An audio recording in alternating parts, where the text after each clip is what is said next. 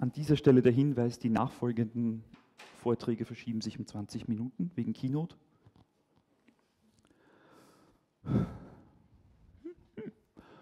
Ich erzähle euch heute was über Applied Crypto Hardening. Das ist also äh, der Track für die Systemadministration, den es früher auf der WWDC auch mal gab. Ähm, über Datenschutz und Privatsphäre haben wir bei den letzten Makuns schon allerhand gehört. Seinerzeit 2011 vom Klaus Rodewig, sicher nach iOS. Dann 2012 von mir, Torwächter und Schlüsselmeister. 2013 dann Alex von Belot und ein böser Angreifer äh, über NSURL Connection. Und auch heuer gibt es einiges äh, nach dem Mittagessen, 15 Uhr, nicht vergessen. Der Thomas über Datenschutz in Apps und der Klaus auch wieder heuer sicher ganz einfach am Sonntag um 11 Uhr früh morgens. Also wir sehen, Datenschutz wird immer wichtiger. Auch Apple hat letztens, äh, also Tim Cook persönlich, in einem Interview gesagt, dass ihnen das wichtig ist und dass sie da noch mehr tun wollen und gerade mit HealthKit äh, sehr, sehr genau darauf achten werden, wie die Leute und die Firmen mit Daten umgehen. Datenschutz an sich ist ein bisschen ein problematischer Begriff, weil es geht ja eigentlich nicht genau darum, die Daten zu schützen, sondern darum, die Personen vor dem Missbrauch ihrer Daten zu schützen. Ähm, ich habe aber auch noch keinen besseren Begriff gefunden. Und einer der Wege, wie man die Personen vor Missbrauch ihrer Daten schützen kann, ist eben, indem man wirklich versucht, den Zugriff von Drittpersonen auf ihre Daten zu verhindern. Ähm, das betrifft sowohl gespeicherte Daten, also Data at Rest, irgendwie Sachen, die auf dem Gerät abgelegt sind und dort persistiert werden, aber auch Daten in Bewegung, Data in Transit. Weil wenn die Daten auf dem Gerät drauf sind, irgendwie müssen sie dorthin gekommen sein. Sprich, entweder hat die Benutzerin diese Daten eingegeben oder sie sind über irgendein Netzwerk auf dieses Gerät gekommen. Also WLAN, Ethernet, Bluetooth, alles mögliche, GSM, völlig egal. Der Sportteil. Wer von euch hat denn eine App, das Daten überträgt über so ein Netzwerk? Irgendwie. Oder Hardware, so Home Automation, medizinisches Zeug, Payment. Lasst die Hände oben. Aha. Ich sehe schon, äh, mehrere Leute äh, haben mehr als eine Hand. Das ist gut. Okay. Wer von euch verwendet da so APIs, eigene oder fremde, um mit irgendeinem API-Server zu reden, Webseiten darzustellen? Okay, ich bin im richtigen Saal. Ähm, wer verwendet dafür ausschließlich verschlüsselte Verbindungen und weiß das auch ganz sicher? So. Das ist der Grund, wo ich depressiv werde. Okay, fragen wir andersrum also auch für linkshändige Personen geeignet natürlich. Wie schaut es denn mit eurer eigenen Infrastruktur aus? So eure eigenen Webserver, wo ihr eure Firma anpreist, eure Produkte, euer eigener Mail-Server. Ist das alles verschlüsselt? So HTTPS und TLS und so. Das ist auch sicher. Hat jemand eure Webseite besucht mit einem User Agent? okay. Ähm, bei wem ist gar nichts verschlüsselt? Weiß nicht ist auch eine gültige Option. Okay. Wer ist für Hab Angst? Okay, noch lacht ihr. Ja, also man darf das nicht übersehen. Da gibt es relativ viel. So, man hat ein Support-Forum, man hat äh, seinen Bug-Tracker. Beim Support-Forum ein schönes Beispiel dafür, wo man solche Dinge leicht übersehen kann. Ein beliebtes App, wo ich mir nur ein Passwort merken muss, um damit andere Passwörter speichern zu können. Äh, Kreditkartendaten, Zugangsdaten, äh, sichere Notizen und solche Sachen. Die hatten praktischerweise ihr Supportforum rein auf HTTP laufen und haben damit alle Passwörter der Userinnen äh, im Klartext übertragen. Hat dann ungefähr zwei Monate Prügelei gebraucht, bis sie das gefixt haben. Inzwischen ist es HTTPS wenn auch nur sehr schlechtes. Warum werdet ihr in diesem Talk erfahren? Äh, Sie haben noch immer keinen Passwort-Reset erzwungen. Und dass ein Passwortmanager Passwörter liegt, ist irgendwie, ja, das war das mit der Ironie. Gut, positiveres, Stundenwiederholung. Ähm, wenn wir Daten verschlüsselt übertragen, Gründe haben wir ja hoffentlich genug inzwischen, verwenden wir also Kryptographie, Verschlüsselung. Was sind denn die Ziele davon? Von Verschlüsselung. Was, was habe ich als Benutzerin davon? Was habe ich als Entwicklerin davon, wenn ich das mache? Vier Ziele. Erstens die Vertraulichkeit. Im Englischen sehr schön Confidentiality, manchmal auch Privacy genannt. Nur die beteiligten Parteien an der Kommunikation, die auch wirklich daran beteiligt sein sollen, können die Nachrichten lesen. Niemand anderer. Wenn da so zum Beispiel versehentlich eine Nachricht vorbeikommt, kann ich sie anschauen, aber ich fange nicht viel damit an. Das, der Bedarf an verschlüsselter Kommunikation ist schon sehr alt. über 2700 Jahre kann man quasi zeigen, dass äh, Leute versucht haben, Nachrichten quasi beim Transport zu schützen vor anderen, die neugierig sind. Ähm und auch ganz wichtig, äh, Kryptographie schützt eure Kommunikation nicht auf ewig. Jede, jede Kryptographie kann gebrochen werden, rein mathematisch, bis auf One-Time-Pads. Mit denen fangen wir sonst nicht viel an. Das heißt, das Ziel ist es, die Kommunikation so lange zu schützen, bis jemand, der sie in die Finger kriegt, für die das nicht gedacht war, einfach nichts mehr damit anfängt. Darf man nicht vergessen. Das zweite Ziel, die Integrität. Wenn da eine Nachricht übertragen wird und ich die bekomme, dann kann ich quasi beweisen, diese Nachricht ist unterwegs nicht verändert worden. Da hat niemand dazu geschrieben, gesendet mit einem tollen Webmail an das E-Mail drangehängt oder noch sonstige Sachen damit getrieben, den Preis auf der Rechnung ausgebessert. In welch, kommt darauf an, in welche Richtung, ob mir das, das okay ist oder nicht. Ne? Ähm, was ich aber auf jeden Fall feststellen kann, ist, wenn eine Nachricht manipuliert wurde, dass sie manipuliert wurde. Ich kann nicht genau sagen, was genau verändert wurde unter Umständen, aber ich weiß, die ist jetzt nicht so bei mir angekommen, wie sie weggeschickt wurde. Und damit kann ich sagen, dieser Nachricht vertraue ich nicht mehr. Ganz eine wichtige Sache. Das dritte Ziel, die Authentizität.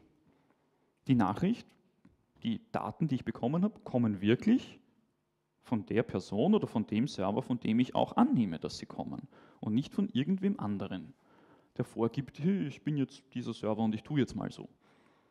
Ähm, ist jetzt auch nicht unpraktisch. Ne? Und das vierte Ziel, die sogenannte Nicht-Abstreitbarkeit, zur englischen Non-Repudiation. Ähm, ich kann mich darauf verlassen, wenn ich eine Nachricht bekommen habe, die war signiert und die Integrität ist gewahrt und die Authentizität ist gewahrt, dass die Person, die das gesendet hat oder der Server, der das gesendet hat, nachher nicht sagen kann, äh, nein, war ich doch nicht und eigentlich habe ich das ganz anderes geschrieben, sondern ich kann mich verlassen, das ist wirklich so passiert und die andere Partei kann jetzt nicht sagen, nö, war nicht so. Äh, wird bei Verträgen, Rechtsgeschäften, medizinischen Attesten und solchen Sachen auch nicht unpraktisch. Klingt böse, haben aber trotzdem Vorteile davon. Ein bisschen Geschichte zur Kryptographie und zur Transport Layer Security, um die es ja heute konkret gehen soll. Also es war eine finstere und stürmische Nacht und die Geschichte von TLS und SSL ist eine Geschichte voller Missverständnisse natürlich, so wie viele andere auch. Es begann 1994 bei Netscape. Kennt das noch wer? Ah, ah da wissen wir jetzt, welche Leute wirklich alt sind. Ähm, SSL v1, Secure Socket Layer Version 1, ist nie veröffentlicht worden. Also wir haben hier einen, einen Zeitstrahl quasi, der am absoluten Nullpunkt beginnt. Und wir sind jetzt da irgendwo da drüben. Ähm, damit ihr wisst, so 1994, wann war das? Ja? In den deutschen Charts war damals Mariah Carey mit Without You der Jahreshit, ja? so als Gefühl. SSL v1, wie gesagt, war rein intern, SSL V2 ist dann 1995 vorgekommen, äh, vorgestellt worden und als IETF-Draft eingereicht worden. War eher schlecht designt. Der Key Hickman hat da halt mal probiert, was geht. War innerhalb kürzester Zeit fundamental gebrochen und es gibt haufenweise Angriffe dagegen. War zum Beispiel nicht sicher gegen Man-in-the-Middle-Angriffe oder Monster in the Middle, wie wir bei Alex gelernt haben letztes Jahr. Ähm, 1996 von Paul Kocher und Phil Carlton und Alan Freier. Äh, SSL V3, tolles Upgrade, komplettes Neudesign von Grund auf. Ähm, ein gewisser Herr Elgar Mal, hat man vielleicht schon mal gehört für die Leute, die PGP verwenden, ähm, hat, äh, war quasi der Chief Scientist, damals immer noch bei Netscape und hat das ins Leben gerufen. Ähm, er gilt quasi als der Erfinder von SSL, so wie wir es heute kennen. 1999 wurde das dann in TLS umbenannt, also von Secure Socket Layer auf TLS, Transport Layer Security, umbenannt, neu versioniert. Man hat bei 1.0 wieder zum Zählen angefangen. Hat eigentlich zur SSL v3 nicht wirklich viele Unterschiede, aber genug Unterschiede, dass es nicht mehr miteinander funktioniert. Ähm, es gibt allerhand schöne Downgrade-Attacks. Wenn ich eine TLS 1.0-Verbindung habe, kann ich sie auf SSL 3.0 runtergraden. Und wenn der Server SSL v2 spricht, dann kann ich es auf SSL v2 runtergraden. Und dann huste ich einmal und dann bin ich bei Plaintext. Und dann ist die ganze Krypto weg. Ähm, eine wichtige Neuerung in TLS 1.0 ist das sogenannte SNI, Server Name Indication. Ihr kennt das von früher. Ich kann auf einer IP-Adresse mit HTTP mehrere Webhosts verwenden. Mit SSL und so geht das nicht. Seit TLS 1.0 geht das schon, weil der Client beim Verbindungsaufbau schon beim TLS-Handshake, das vor dem ersten HTTP-Request kommt, den Servernamen mitschicken kann. Damit liefert der Server automatisch auch das richtige Zertifikat aus und verwendet die richtigen Keys und damit habe ich damit keine Probleme. Ähm, mit IPv6 hätten wir ja genug IP-Adressen, um das auch wieder zu trennen, das wäre ja recht schön, aber nachdem die Welt immer noch auf Legacy-IP spielt, in großen Teilen, ähm, ist es ganz praktisch, dass wir das können. Das nächste Update gab es 2006, TLS 1.1. Dazwischen waren allerhand lustige Angriffe wie Beast Crime, Lucky 13, ähm, haben alle ganz tolle Namen. Das noch tollere daran ist, all diese Bezeichnungen sind fürchterliche Akronyme. Und ich muss immer nachschauen, was sie bedeuten, ist jetzt auch relativ egal. Ähm, mit TLS 1.1 wurde viel von diesen Problemen behoben. Leider hat sich niemand darum gekümmert, TLS 1.1 auch wirklich auszurollen und irgendwo zu implementieren und auf Server zu bringen. Ähm, aber prinzipiell damit wurde die kryptografische Sicherheit von dem Protokoll deutlich verbessert. Und wirklich cool war es dann mit TLS 1.2 von 2008, ist jetzt also auch nicht mehr ganz neu. Ähm, und da hat man dann ganz neue kryptografische Algorithmen hineingebracht, ähm, moderne Cipher-Suites, moderne Modi für die Verschlüsselung, also GCM, Galois Counter Mode, äh, CCM, Counter Mode mit CBC MAC und solche Sachen sind eingeführt worden. Also ganz tolle moderne Kryptosachen. Und das einzige Protokoll, von denen es eigentlich als momentan wirklich sicher gilt, ist TLS 1.2. Für alles andere gibt es Attacken, die irgendwie funktionieren. Ja, jetzt kriegt ihr auch langsam Angst, das finde ich gut. Muss ich nicht alleine hier stehen mit Panik. Also, schöner Überblick. Die Ampel sollte eigentlich relativ gut helfen. SSL V2 ganz unten, uralt, tiefrot als Warnung, wollen wir nicht verwenden, durchgestrichen, getötet, äh, war 1995. Hm? Äh, in Deutschland war damals Vangelis mit Conquest of Paradise, also 1492 aus dem Film, in den Charts. In Österreich, also man sieht, na, muss man, kann man mögen die Musik, kann man nicht mögen. In Österreich ist ganz klar, mag man nicht. Das war Rednecks äh, mit Wish You Were Here. Also wir sehen schon an der Musik, mh, hm, geht gar nicht. SSL V3, auch rot, sollte man auch nicht wirklich machen mehr. Da waren sich Deutschland und Österreich auch nicht ganz einig. Es tut mir leid, dass ich die anderen Länder nicht mehr recherchieren konnte. Das, die VPN-Verbindung in meinem WLAN im Hotel hat irgendwie nicht so funktioniert. Ähm, in Österreich Los del Rio mit E Macarena und Fujis mit Killing Me Softly in Deutschland. Behaltet das im Kopf, jedes Mal, wenn ihr SSL v3 konfiguriert. Ja? Vielleicht gewöhnt man sich das ja ab. TLS 1.0, 1999, also das Ding ist 15 Jahre jung, immerhin schon. Lou Bega mit Mambo Number 5, auch hinreichend fragwürdig, würde ich mal sagen, außer wenn man tanzt. Salsa. Ähm, wollen wir auch nicht wirklich. 2006 TLS 1.1, Nars Barkley mit Crazy, okay, Bob Sinclair, Presents Galileo, ach, Gary, ich habe keine Ahnung, kenne ich, ich Love Generation war das. Ähm, und eben TLS 1.2 2008. Das ist das, was wir verwenden wollen. Das ist das, was alle verwenden sollten. Ganz wichtig. Ja? Und es ist gar nicht so schwer. Ähm, das war Kid Rock mit All Summer Long und Timberland Presents One Republic mit Apologize. Also entschuldigt euch, wenn ihr das noch nicht implementiert habt. Ähm, Jetzt ist natürlich interessant, womit kann ich das überhaupt verwenden? Weil 2008, das ist erst naja, ein paar Jahre her, macht das überhaupt schon wer? Unterstützt Software das? Und Leute, die glauben, TLS 1.2 wird noch nicht unterstützt. Die glauben auch, dass es für den Macintosh keine Software gibt und der zu nichts kompatibel ist. Also, wie schaut das aus? Von 10.6 bis 10.8, ich nenne es mal das finstere Mittelalter. 10.6, das war Lady Gaga mit Pokerface damals, wie das rausgekommen ist. Da ist SSL v3 und TLS 1.0 unterstützt, also das ist so gerade noch. Das Blöde ist, das, sich, das zieht sich rauf bis 10.8. Wirklich bequemer wird das Ganze dann mit 10.9. Ähm, ab da können wir auch TLS 1.2. Das finde ich gut. Und was ganz toll ist, SSL v2 sprechen diese Betriebssysteme nicht mehr. Also auch wenn der Server das will, euer System sagt dann so, ja, hab mich gern. Macht man doch iOS hier? Gelegentlich? Ein, zwei? Ja, okay. Ihr seid gut dran, ihr habt nämlich überhaupt keine Ausreden mehr. iOS kann das seit 5.0.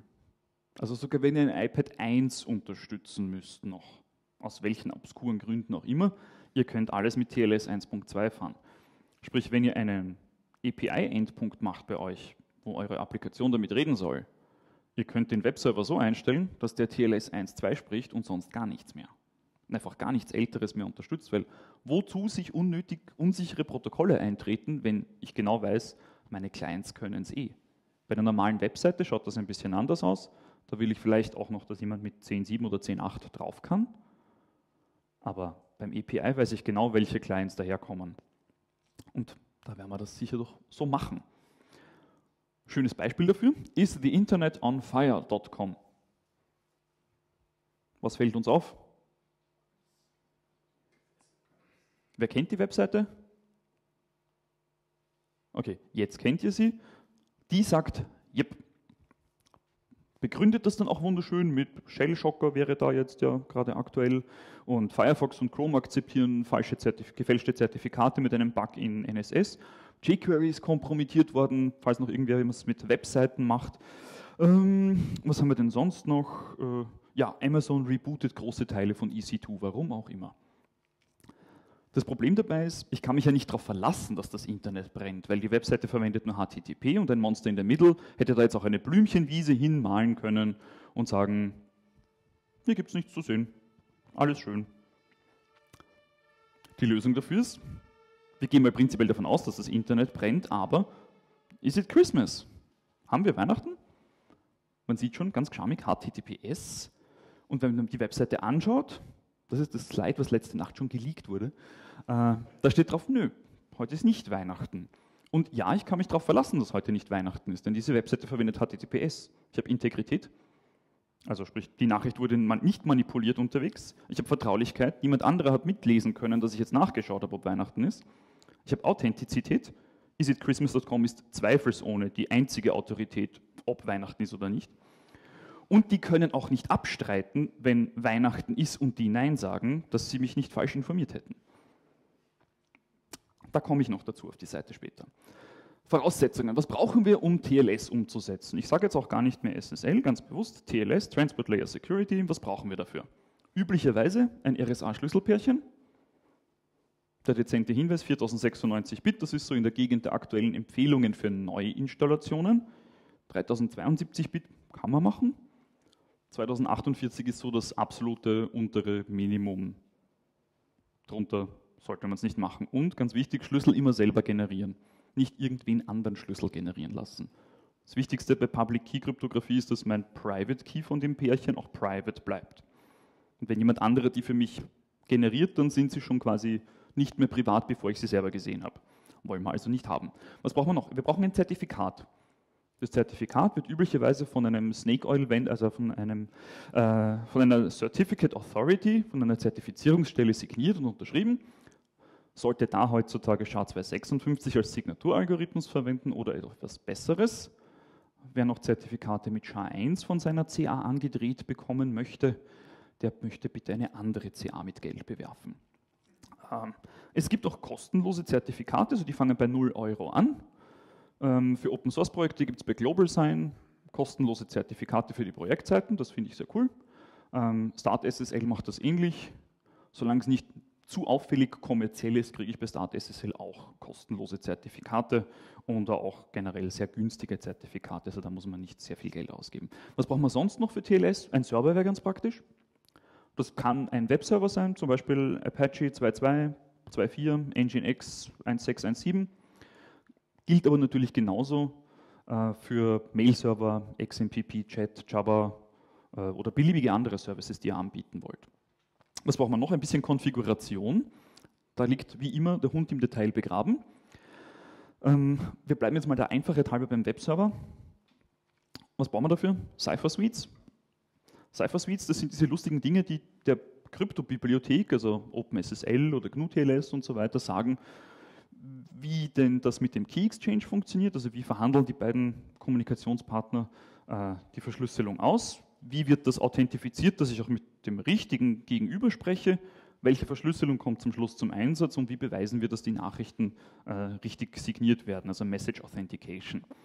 Das sind dann diese praktischen kleinen äh, Textkonstrukte. Der Unterschied zwischen den beiden ist genau gar keiner, es ist das gleiche. Das Schöne ist, oben haben wir die äh, Spezifikation, wie sie von der IANA, also von der ähm, äh, ach Gott, ein Akronym, das ich mir nicht gemerkt habe. Ähm, genau, Internet Assigned Numbers Authority, genau das war's. Äh, und drunter ist das, wie es OpenSSL gerne haben mag in der Konfiguration.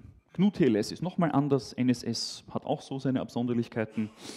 Ähm, wenn man so jetzt OpenSSL fragt, was es denn so alles kann an Krypto, dann kommt ungefähr das raus. Ich prüfe das dann morgen ab. Und ja, das ist der Teil mit, ich habe Angst, so wie wähle ich jetzt da die richtigen Dinge aus, dass das auch sicher bleibt. Ne? Mein eigener Webserver verwendet ungefähr das. Ob ich das was hilft, ich habe keine Ahnung. Ähm, aber man sieht, wenn man das ein bisschen eindampft, dann kann man damit schon umgehen. Wichtig ist, die Reihenfolge, wie ich diese Sachen verwende, ist essentiell. Wenn ich sie umsortiere, kann ich mir damit schöne Sicherheitslücken eintreten. Und ich muss auch meinem Webserver sagen, dass er gefälligst diese Reihenfolge einzuhalten hat. Sonst kommt nämlich der Client und denkt, hm, ich nehme mal das. Und das ist nicht unbedingt das, was ihr haben wollt eigentlich. Das heißt, ein bisschen Selbstvertrauen und sagen, hey, mein Server weiß, was gut ist für euch, das nehmen wir.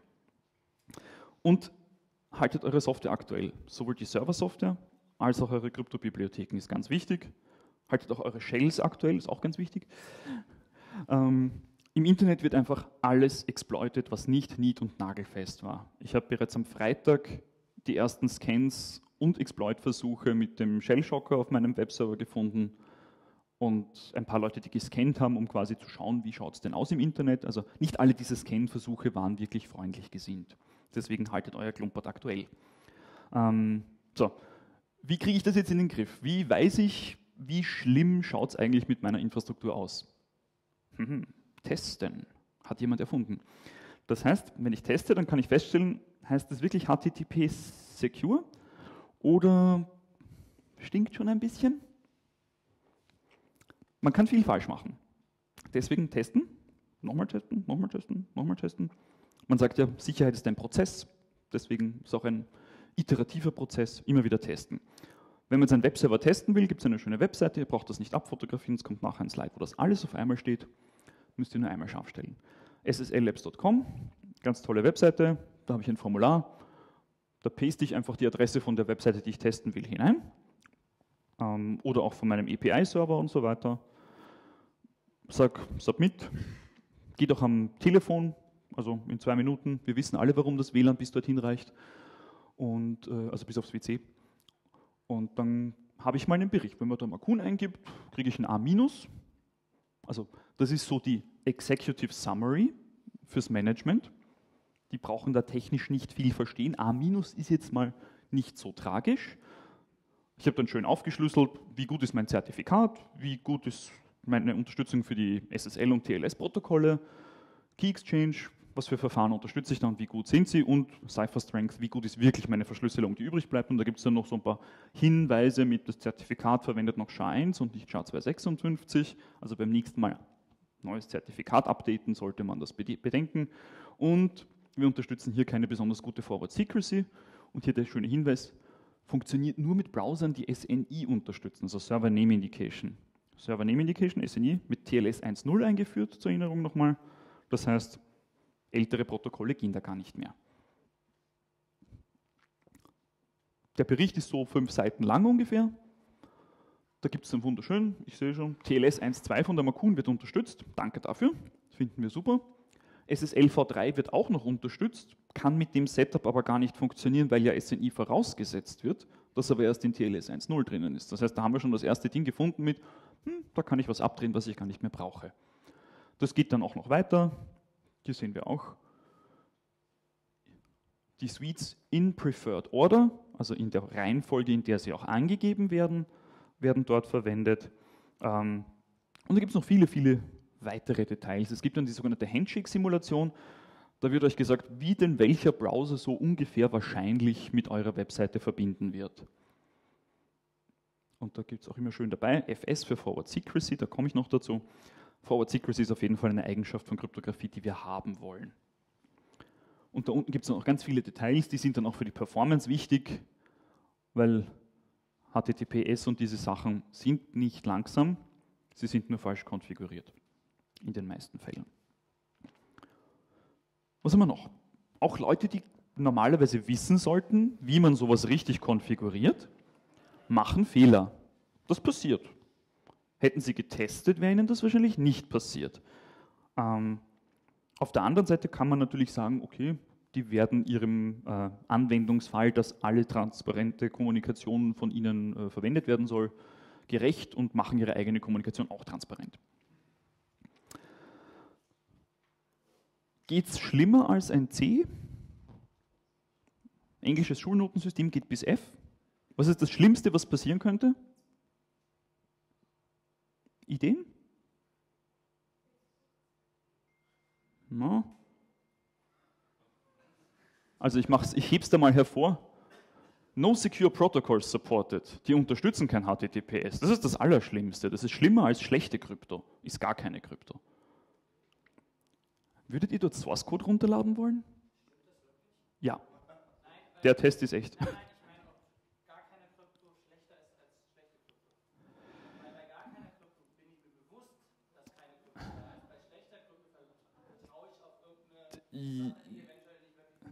Das Argument ist natürlich richtig, du gehst aber auch davon aus, dass Leute darauf schauen, was in ihrem Browser steht und sinnerfassend lesen können.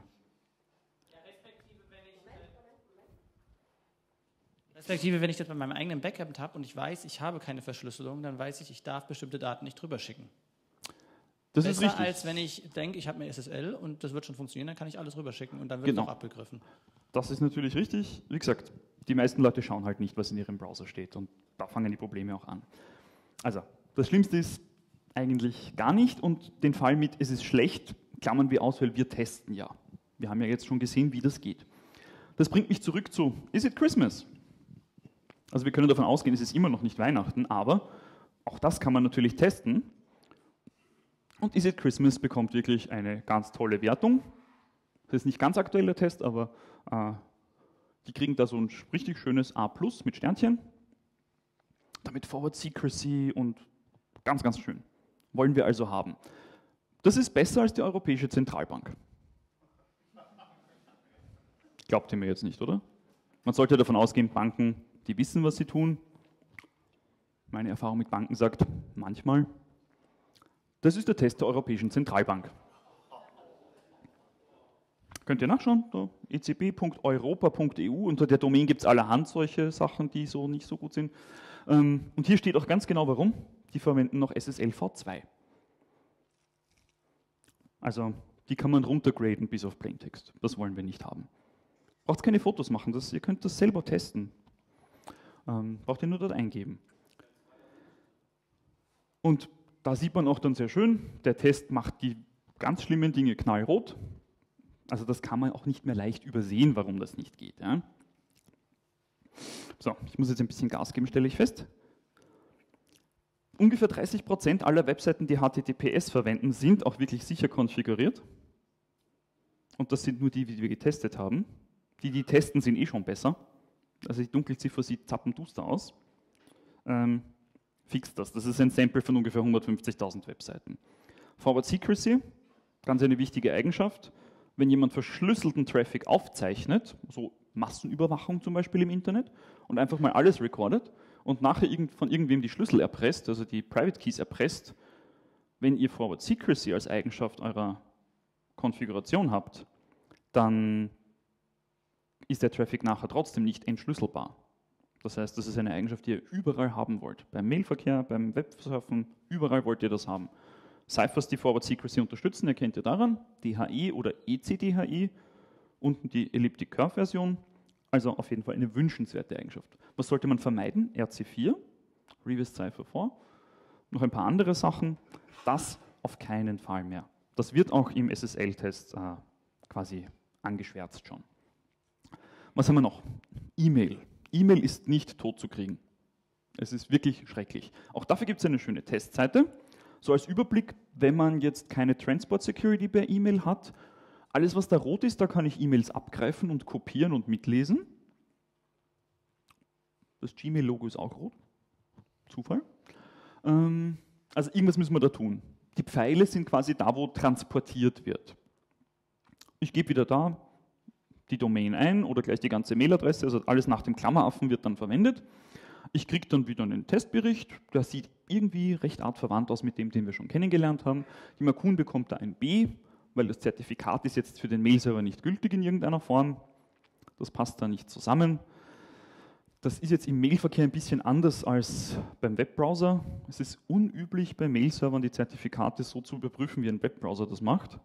Ähm, dafür gibt es andere tolle Akronyme, so SPF und DKIM und DMARC und DANE, ähm, die dann andere Sachen machen, um das wirklich sicherzustellen. Ähm, wenn man sich das dann anschaut mit so einem guten Test, müsst ihr es nicht lesen können, aber da ist alles grün. Die haben wirklich bis TLS 1.2 hinauf ein gültiges Zertifikat, super Verschlüsselung und so weiter. Das ist übermorgen.com. Das ist keine Firma, die High-Security-Sachen macht. Das ist Netzkunst.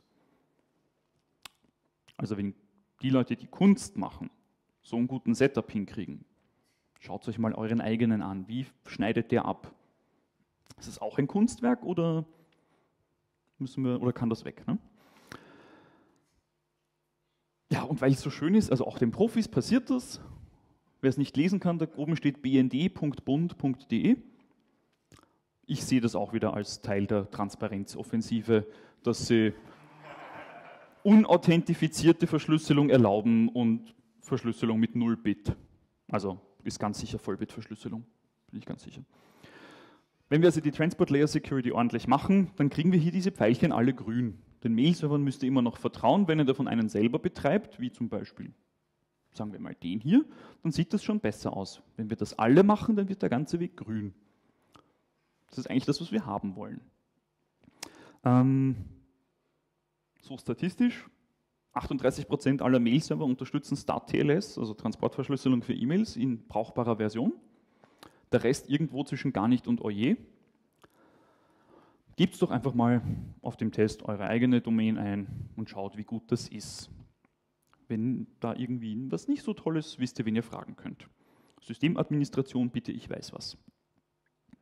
Oder sagst es auch dem Management. Die fangen da beide was damit an. Chatten. Ähm, XMPP bzw. Jabber ist ja das inzwischen weitest verbreitete Chatprotokoll. Facebook verwendet Google Talk verwendet WhatsApp verwendet das, iMessage verwendet das im Hintergrund, Apple Push Notifications laufen darüber. Ähm, auch der Messages Server, der iChat Server von Apple läuft darüber. Dafür gibt es auch wieder einen schönen Test.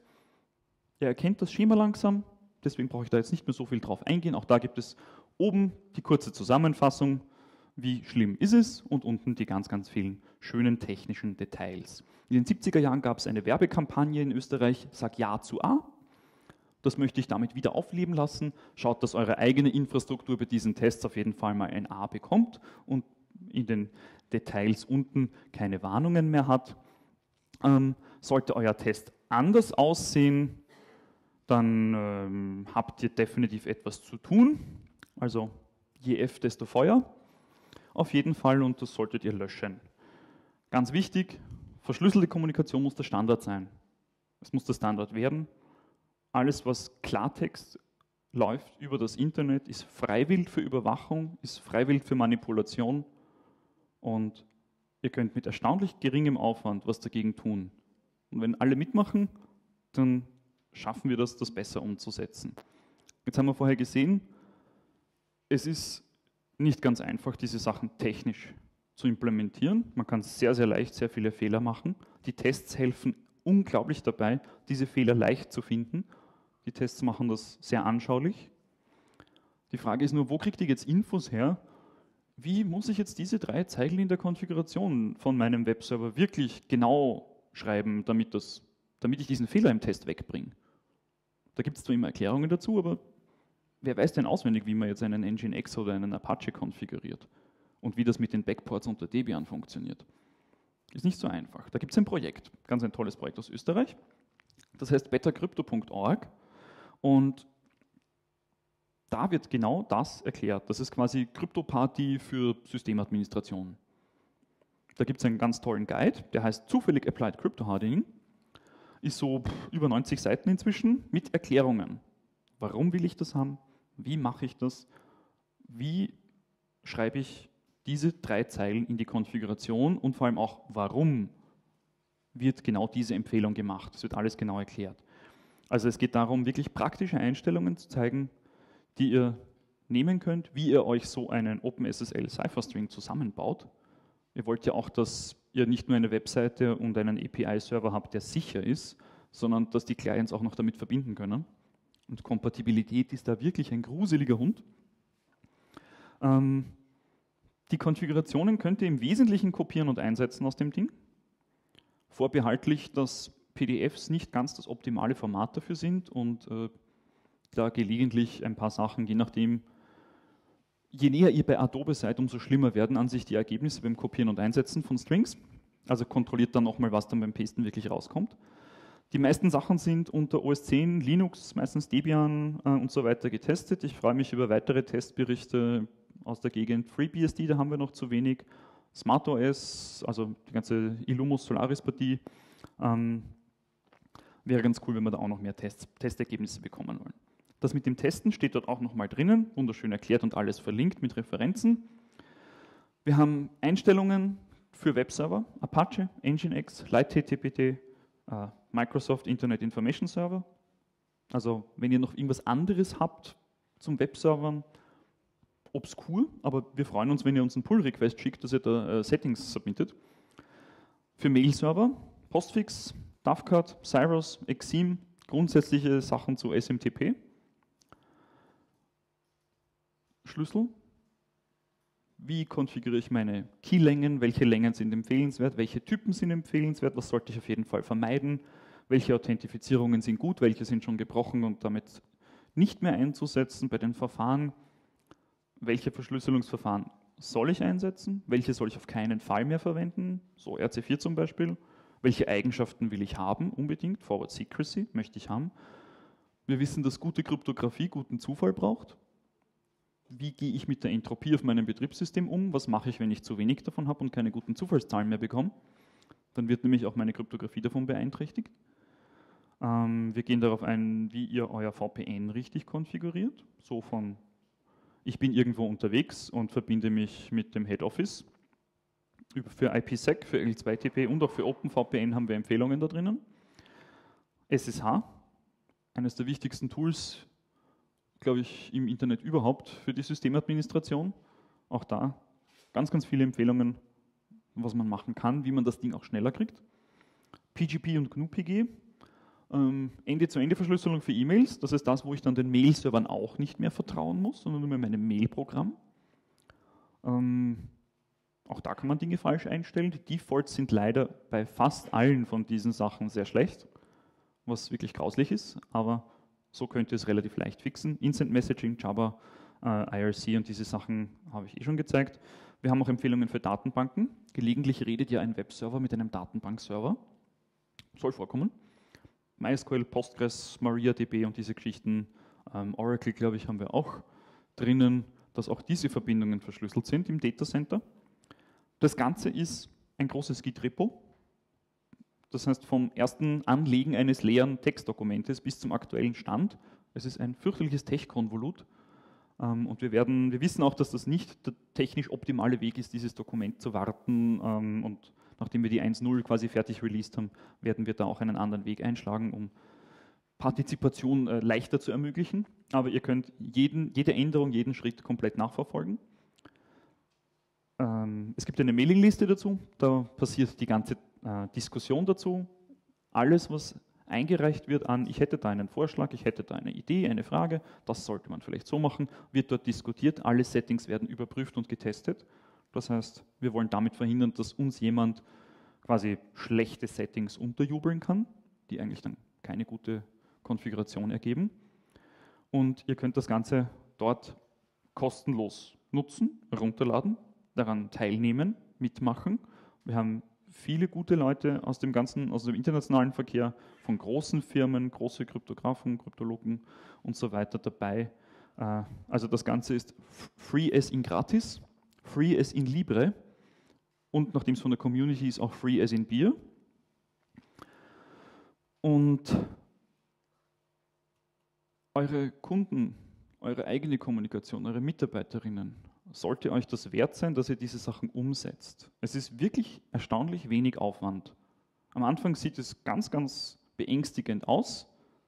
Wenn man ein paar Nächte über diesen Cypher-Strings gebrütet hat, dann kann man sie einfach so lesen. Das ist wirklich nicht schwer. Ist auch nur ein Akronym, so wie PCMCIE. Wer weiß, was PCMCIE heißt? People cannot memorize computer industries acronyms. Mhm. Hausübung für euch. Testet alle eure Server. Ihr braucht das dort wirklich nur einmal eingehen. Innerhalb von einer Viertelstunde habt ihr eure Infrastruktur abgeklopft und wisst, wie schlimm es ist. Und dann wisst ihr auch, wie ihr reagieren müsst darauf. Schaut, dass ihr TLS 1.2 auf allem deployed kriegt, auf Mail-Servern, auf Web-Servern, auf Chat. Schaut ihr, dass es überall hinbekommt. So leid es mir selber tut, OS X Server im Internet zu betreiben, ist keine gute Idee mehr. Auch mit Yosemite wird das nicht besser. Apple hat da ganz massiv nachzubessern. Ähm, schaut, dass ihr überall Konfigurationen habt, die Forward Secrecy unterstützen. Sollte irgendwann mal jemand zu euch kommen und Private Keys von euch erpressen, ähm, so wie es zum Beispiel den Betreibern von LavaBit in den USA passiert ist, dann ist das, was die Kommunikation auch in der Vergangenheit schützt. LavaBit war ein großer E-Mail-Anbieter, die verschlüsselte E-Mails angeboten haben. Die haben das verschlüsselt auf ihren Servern gespeichert und eine nicht näher genannte drei Buchstaben Institution äh, ist dort vorstellig geworden und hat gemeint, so und jetzt her mit den Private Keys. Wir haben euren gesamten Traffic sowieso schon aufgezeichnet. Ähm, gebt uns mal die Private Keys, wir wollen das nachträglich entschlüsseln. LavaBit war dann cool, die haben innerhalb von ein paar Stunden in der Nacht die kompletten Server gelöscht, alle Daten von ihren Kunden einfach mal vernichtet, um die Daten ihrer Kunden zu schützen. Sie haben auch den Private Key hergegeben, weil wenn so ein National Security Letter kommt, kannst du nichts dagegen tun. Dass das dann ein bisschen Arbeit geworden ist für die Behörden, ist auch klar. Die haben einen Ausdruck von einem 4096-Bit RSA-Schlüssel bekommen. Aber die haben wirklich die Firma abgedreht, um ihre Kunden zu schützen. Das ist ein ehrenwerter und sehr mutiger Schritt. Das werden nicht viele tun, das muss uns auch klar sein. Aber wenn ihr euch überlegt, wenn ihr Kunde einer Firma seid, eine App verwendet von irgendjemandem anderen, dann wollt ihr auch, dass eure Daten sicher übertragen werden. Und das denken sich alle eure Kunden auch. Deswegen schaut, dass ihr eure Sachen gesichert bekommt. Wenn ihr Fragen habt, jetzt wäre Gelegenheit dazu. Und wer ein Smartphone eingesteckt hat, kann das abfotografieren. Da steht alles drauf nochmal. Tippfehler fallen unter das Leistungsschutzrecht. Ja, aber bei Krypto kann man sich ja erstmal nur blamieren, wenn man sich zu Wort meldet. Ich kalkuliere das mal gleich mit ein. Ähm, also ich habe für eine iOS-App, die ich habe, keine kryptografische Verschlüsselung, also für den Transportlayer oder irgendetwas. Aber ich verschlüssele die Datenpakete, die da hin und her gehen. Also das heißt, ich habe alle meine Dateien, die diese App nachlädt, verschlüsselt mit einem Schlüssel. Und mhm. die werden dann in der App wieder ausgepackt. Ja. Ist das auch okay? Wäre das etwas, was. Weil bei mir ist es genau der Punkt, nämlich. Ich habe keine Ahnung davon, wie ich meinen Server sicher kriege. Ich kann mich nicht ständig darum kümmern. ist halt auch ein echt administrativer Aufwand, wo man ständig hinterher sein muss. Und habe mir gedacht, warum nicht die Dinge, um die es geht, die ich schützen will, direkt verschlüsseln? Wäre jetzt so ähm, meine Frage. Mhm. Wenn du deine Daten beim Transport quasi selbst verschlüsselst und dann über eine unverschlüsselte Verbindung transportierst, dann hast du das Ziel erreicht. Integrität, hoffentlich. Das ist dein bester Fall. Was du nicht hast, äh, Entschuldigung, das, Authentizität. Wenn deine Daten nicht signiert sind und du diese Signatur überprüfst, dann weißt du nicht, von welchem Server du jetzt verschlüsselte Daten nachgeladen hast. Wenn da ein Monster in der Mitte ist, dann kann ich dir auch verschlüsselte Daten liefern. Prinzipiell ist es gut, wenn du deine Daten selbst auch nochmal verschlüsselst. Da müsste man jetzt noch genauer nachschauen, wie tust du das, mit welchen Algorithmen, wie gut sind die konfiguriert. Aber du kriegst das nicht. Und du willst prinzipiell ja auch nicht preisgeben, dass jetzt wer wann mit deinem Server welche Mengen Daten und so weiter austauscht. Einzelne Sachen. Das heißt, du solltest auf jeden Fall drumherum nochmal ganz schön Transport Layer Security machen der Better Crypto Guide hilft dir bei der Konfiguration von diesen Sachen wirklich gut weiter. Wenn nicht, kommst du zu mir, schimpfst mich und sagst, Peppi, das stimmt nicht, das verstehe ich noch nicht, bitte erklärt das besser. Und dann werde ich mich darum kümmern, dass wir das hinkriegen. Ähm, aber mach, mach Transport Layer Security, wirklich. Das hilft. Einfach dazu. Den Rest weiterverwenden.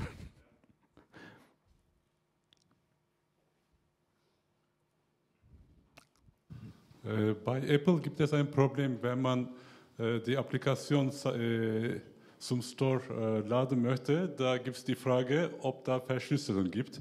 Und wenn da Verschlüsselung gibt, dann muss man diese sehr schwierigen Prozeduren durchgehen, dass man dieses Erlaubnis bekommt.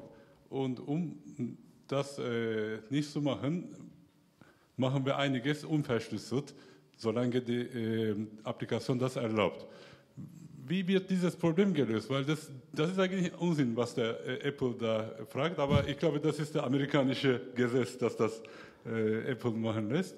Wie muss man da äh, vorgehen? Okay, ich fasse es zusammen. Wenn ihr eine App submittet, werdet ihr gefragt, ob ihr Verschlüsselung in dieser Applikation verwendet beim App Store. Ähm, ja, das ist eine US-amerikanische gesetzliche Vorgabe kommt noch aus Zeiten des Krypto-Embargos aus den 90er Jahren. Äh, der Witz ist, wenn ihr nur die Systembibliotheken verwendet, müsst ihr das auch nicht mal anhaken. Sprich, wenn ihr einfach sagt NSURL Connection und macht TLS, dann musst du das nicht als ich mache eigene Krypto da anhaken. Erst wenn du eigene Kryptobibliotheken importierst, dann ist das wirklich notwendig. Ich kenne auch keinen einzigen Fall, wo ein App das, was sich TLS macht, rejected wurde, weil das nicht angehakt war und es trotzdem TLS gemacht hat. Also da, da sind wir im Prinzip eh gut damit dabei. Wenn ihr andere Bibliotheken einsetzt, auf iOS zum Beispiel noch ein OpenSSL dazu linkt ähm, oder ein, eine Salt Library, dann kann man das natürlich auch versehentlich vergessen haben. Also ich habe verschiedene äh, Server gemietet, zum Beispiel bei Hetzner oder HostGator, weil mhm. ich gar keine Lust habe, selber meinen Webserver zu betreiben. Welche Möglichkeiten habe ich dann bei diesen Anbietern, die Konfiguration so anzupassen? Geht das überhaupt oder muss ich den wirklich selbst betreiben? Ähm, ich selber bin jetzt, mit, bin jetzt mit den Config-Möglichkeiten beim Hetzner nicht fit genug, um das direkt beantworten zu können, aber ich kenne grundsätzlich die Problematik, dass so günstige Massenhosting-Angebote oft nicht erlauben, so viel äh, Details zu konfigurieren. Da gibt es halt mehrere Möglichkeiten. Such dir einen anderen Hoster, der vielleicht ein paar Cent mehr kostet, aber dir mehr Möglichkeiten bietet, das zu konfigurieren. Auf der anderen Seite, du bist Kunde und du zahlst diese Firma dafür. Und wenn du denen sagst, liebe Leute, ich habe hier einen SSL-Test von eurem Setup gemacht und der kriegt ein C oder ein F, ja, ich zahle dafür, dass das ordentlich gemacht wird, bitte fixt das und ich lege Wert darauf, dass das gemacht wird. Also du kannst sowohl mit deinem Geld entscheiden, wem du es gibst, Und ja, das ist ein Prozess, der sehr lange braucht, aber du kannst auch einfach dort den Support so lange freundlich darauf hinweisen, bis es auch Management dort mitbekommen hat, dass sie da jetzt was tun müssen. Wenn du es selber betreiben kannst, ist natürlich ganz super. Ähm, kurze Anmerkung, weil wir selber unsere Server auch bei Hetzner haben. Ich nehme an, du spielst dann auf diese sogenannten Managed Server. Exakt. Ähm, das heißt, man hat nicht selber ein Root-Passwort in dem Sinne, sondern bekommt ein Unix vorkonfiguriert mit dem Apache, spielt dann zum Beispiel seine PHP-Programme, also PHP-Programme auf. Ähm, da ist tatsächlich, sollte man dann den Test machen und sich wirklich an Hetzner selber wenden, wenn man da technische Argumente hat. Unsere Erfahrung ist, dass die sehr antwortbereit sind und wenn man sagt, da ist ein Problem, die reagieren, definitiv. Ich habe die Frage, wenn ich jetzt äh, meinen Server, also mein, mein Application Backend äh, auf einem dieser schönen EC irgendwas oder sonstigen Cloud-Server betreibe, wie sieht es da mit der Entropie aus? Weil wenn ich da jetzt eine schöne Verschlüsselung mache und auf einmal habe ich einen Deadlock in der Application, weil random leer ist. Wie sind da die Erfahrungen? Ja, ähm, wenn du EC2 verwendest, gilt einmal das Erste, du darfst deine Keys niemals auf dieser Virtual Machine generieren, weil wenn du dir überlegst, so in, im Lebenszyklus einer Virtual Machine auf EC2, die erblickt das Licht der Welt, stellt fest, huch, hier ist ein Internet, ich werde zum ersten Mal gebootet, ich habe noch nichts erlebt und damit auch noch keine Entropie sammeln können, aber ich mache jetzt mal SSH-Keys. Das ist schon mal das erste große Problem. Ähm, Entropie auf diesen Maschinen ist üblicherweise sehr schlecht. Bei manchen hast du das Problem, dass sie die Entropie von ihrem Hypervisor erben. Das heißt, alle Virtual Machines auf dem, auf dem Hypervisor haben dieselbe Entropie. Da besteht natürlich dann die Gefahr, dass sie auch dieselben Schlüssel generieren oder sehr, sehr ähnliche und nah, nah verwandte Schlüssel. Ähm, deswegen bei solchen Sachen Keys immer auf dem eigenen Rechner äh, generieren und dann raufkopieren. Bei Forward Secrecy brauchst du dort auch Entropy, um temporäre Keys erstellen zu können. Dafür reicht es üblicherweise. Ähm, ansonsten kannst du dir mit äh, HAVG noch äh, in Software etwas behelfen, der dann noch etwas mehr Entropie erzeugt. Wie gut das ist, tue ich mir jetzt gerade schwer, eine globale Aussage zu treffen. Aber Zufallszahlen ist generell etwas, was man im Auge behalten muss, wenn man sehr viel Traffic hat. Ähm, es gibt auch kleine Hardware Random Number Generator, die man einfach per USB anschließen kann, die dann einfach mal zusätzlich Entropie erzeugen und die kosten auch nicht viel. Also die kann man zur Not auch selber bauen. Das hilft dann schon mal. Dann hätte ich schon mal wieder eine, eine Anfrage als Kunde. Ne? Ich hätte mal als Frage, ähm, weil man es viel hört, ähm, äh, einfach mal, was du sagst zu, zu den Leuten, die meinen, ja, was ich übertrage, ist doch nur, wer weiß was, der Software-Update-Check von meinem Programm. Da kommt ja nur eine Versionsnummer runter. Warum soll ich jetzt die Anfrage verschlüsseln? Oder warum soll ich meine Webseite verschlüsseln? Da sind nur Artikel drauf, die sind eh öffentlich. Also du hast vorhin halt gesagt, ja, man will ja nicht, dass das mitgehört wird, aber eben ja, warum nicht? Also wenn du jetzt von der Applikation ausgehst und sagst, dein Versionsnummern-Check, schickt die eigene Versionsnummer hin zum Server und der Server antwortet mit, oder gibt es ein Update. Wenn ich jetzt das abhören kann, dann weiß ich, welche Version du hast und ich weiß vielleicht, warum du dieses Update gemacht hast, weil da eine Sicherheitslücke in der Software war zum Beispiel und kann jetzt verhindern, dass du dieses Software-Update bekommst. Und ich weiß, du hast eine verwundbare Software auf deinem Rechner und kann jetzt anfangen, dieses Gerät zu exploiten. Wir haben gesehen, im Internet alles, was exploitbar ist, wird angegriffen. Das geht innerhalb von kürzester Zeit, wenn sowas gefunden wird. Äh, ähnliches Beispiel ist Crash Reports. Wenn du deine Crash Reports jetzt über irgendeine von diesen praktischen Bibliotheken wegschickst oder einfach noch irgendwelche eigenen Sachen zu deinem eigenen Server, im Crash Report steht wirklich heikle Information drinnen, warum deine Applikation gecrashed ist. Wenn eine Applikation crasht, kann ich damit vielleicht auch äh, Code injizieren, der dann von deiner Applikation ausgeführt wird, wenn irgendwo die Input Validation nicht stimmt. Das heißt, das sind extrem heikle Informationen über deine Applikation, die willst du schützen. Und da geht es auch nicht zwangsläufig darum, dass du als Einzelperson jetzt äh, ein Ziel für irgendeine Behörde bist, sondern das betrifft unter Umständen auch kleine Firmen, die einem großen Konzern zuliefern. Weil kleine Firmen können sich oft oder kümmern sich meistens nicht so gut um ihre Security, dass sie ein gutes Einfallstor bieten, um in einen großen Konzern hineinzukommen. Das heißt, als, gerade als, als kleine Firma, die spezialisiert ist auf irgendwas, Wenn man sich anschaut, die meisten Firmen, die iOS im deutschsprachigen Raum machen, die sind nicht wirklich groß, aber ihr beliefert große Konzerne damit. Und ihr habt ein Vertrauensverhältnis mit diesen Kunden. Und da wollt ihr natürlich schon irgendwie wahrscheinlich vermeiden, dass ihr das Einfallstor werdet, über das der Konzern angegriffen werden kann. Und ansonsten, ich schätze meine eigene Privatsphäre sehr und es geht einfach niemandem was an, was ich mir im Internet an Artikeln durchlese. Und das kann für bestimmte äh, Berufsgruppen, Journalistinnen zum Beispiel, kann das schon sehr, sehr gefährlich sein, wenn jemand, der neugierig ist, weiß, worüber die recherchieren weil dann ist da wahrscheinlich auch irgendwann eine Story dahinter. Du hast den OS 10 Server erwähnt von Apple. Ähm, was ist da genau das Problem und kann man vielleicht einen, einen Teil der Dienste sicher betreiben? Ähm, ja, also ich setze selber OS 10 Server ein seit vielen Jahren. Ähm, ich habe viele Radars offen bei Apple. Momentan schaut es so aus, dass kein einziger Service von OS X Server was Besseres als TLS 1.0 unterstützt. Daran wird sich auch in Yosemite nichts ändern. Das ist eher gruselig. Es ist alles gegen OpenSSL 098 gelinkt, seit 10.9.5. Jetzt sind wir nur mal eine Release von OpenSSL hinten und nicht mehr 12 oder so. Ähm, also Apple nimmt das ernst. Wenn ich aber heutzutage kein TLS 1.2 mehr machen kann, bin ich gezwungen, den Service auszutauschen. Sprich, den Apache, den Apple mitliefert, kann ich nicht einsetzen. Das Python, das Ruby, die Shell ist von 2007. Ähm, dann kannst du das machen, was viele tun. Also ich zum Beispiel, ich kompiliere halt meinen, ein eigenes OpenSSL, ich kompiliere meinen eigenen Nginx und hoste meine Webseiten damit. Damit verliere ich aber natürlich den Komfort, den OS X Server bietet. Abgesehen davon, dass die Webservices dort sowieso absolut nicht konfigurierbar sind mehr inzwischen und die Plattform dafür völlig unbrauchbar geworden ist.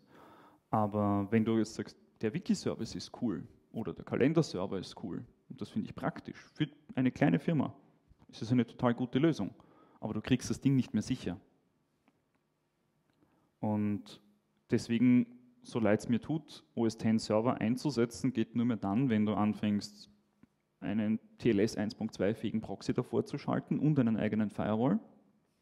Also sprich, du kannst sagen, hey, ich verwende den Wiki-Server, aber ich mache einen Reverse-Proxy mit einem Nginx davor, weil dort kann ich gescheite Krypto machen. Weil das geht mit dem Apache-eigenen nicht. Abgesehen davon, dass du die Krypto dort nicht konfigurieren kannst, weil er dir die Konfigurationsfiles on the fly generiert und permanent überschreibt. Ähm, wenn du den, den iChat-Service, den Messenger, Java-Service von, von OS X Server verwendest und den Test machst, ähm, nicht fürchten, abdrehen. Ja? Du kannst dann hergehen und kannst dir ähm, das eJabba-D-Package runterladen, das offensichtlich vom Hersteller nie getestet wurde, weil sich es nicht mal fertig installieren lässt. Du kannst anfangen, dir Prosody zu installieren, wenn du anfängst, dir die Programmiersprache und die Dependencies der Programmiersprache, in der Prosody geschrieben ist, nämlich Lua, selber zu kompilieren. Weil alle Packages, die es gibt, sind so heillos kaputt, dass das Ding nicht mehr startet. Und wenn ich auf dem Komfortlevel bin, dann kann ich gleich sagen, danke, ähm, FreeBSD, Port, Install und Ruhe ist.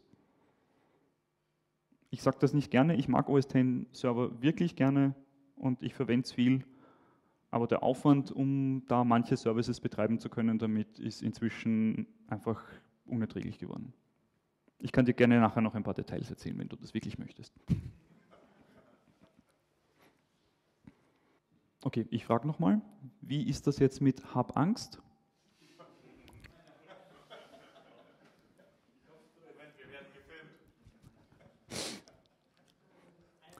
Ja. Ähm, wenn ich jetzt HTTPS einsetze, wie viel wird da nicht verschlüsselt übertragen? Du sagtest vorhin, es wird zum Beispiel der äh, Servername ja vorher angefragt.